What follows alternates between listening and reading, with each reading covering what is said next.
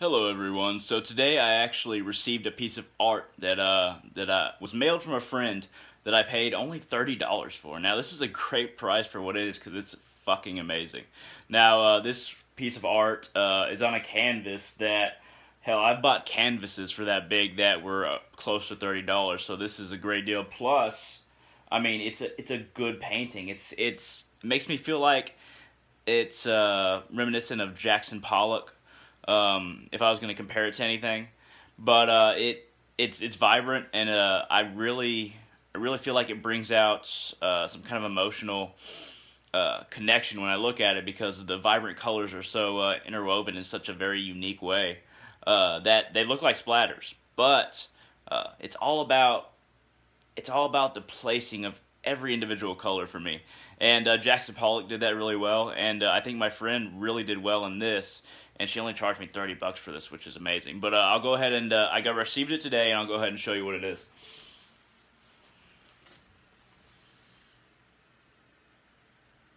That is it right there. Now, a lot of people say it looks like a chicken, but I, uh, I only get that context like partially. Like for me, the color stands out more than just the black outline.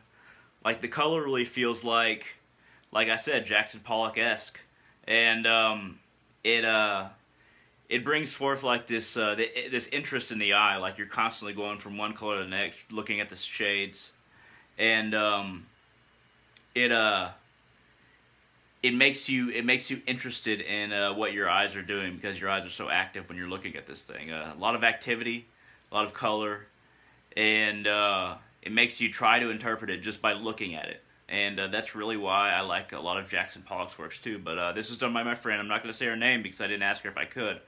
Uh, but she does a lot of works. They're not all this style of art necessarily.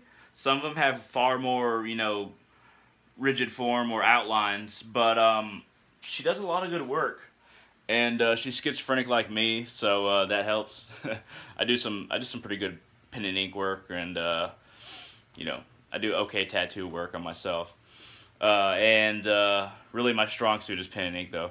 And I'm more into I'm more into writing and uh, spirituality research, things like that. But I I really do have an artistic side, and it, that really flares up that side of me when I look at it. So I'm really glad that I received that. Thank you very much, my friend that sent that to me. Uh, I'm posting this on YouTube, of course. And uh, one other thing happened to me that I wanted to mention, because I don't really know where else to put it, to be honest. Um, one of my favorite authors, uh, Raven Kaldera, actually commented on one of my videos. Now, he's one of my, he's a northern shamanistic uh, author. And um, there's, there's just not a lot of those. And uh, he he posted, uh, you know, a positive comment on one of my videos, uh, the multiverse uh, video. My video on the multiverse, type in Hunter Salazar, multiverse 1, because it's the first part.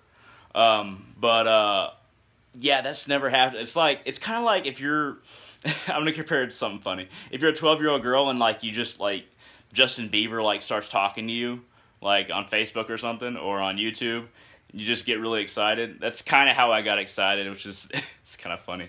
Uh, but yeah, I started engaging in conversation with him, but um, on email, uh, so it's not really public. But uh, yeah, I was really happy about that. Today's been a good day. I received a good work of art from my friend, and uh, I got a comment on one of my videos on YouTube uh, from one of my favorite authors, like literally one of my favorite. Not just saying that.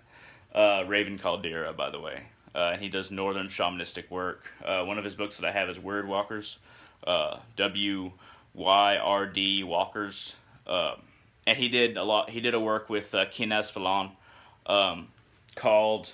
I have to look back at Talking to the Spirits, and uh, that was really great work. Kenaz Filan is one of is another great author that I just love. I only have like six or seven that are really up there for me as far as spirituality goes, but um, that's all I got to say for today. Uh, thank you very much for watching, and y'all have a great day.